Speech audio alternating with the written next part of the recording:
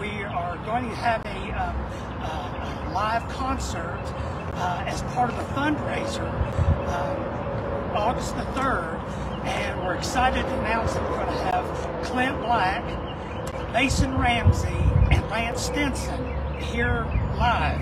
And we, um, uh, it's going to be as, as part of a, uh, a fundraising event because as you can see, we're not quite done, but uh, the timing is just perfect. So uh, we're uh, excited about this and we just hope that everybody will, will come and be a part of it.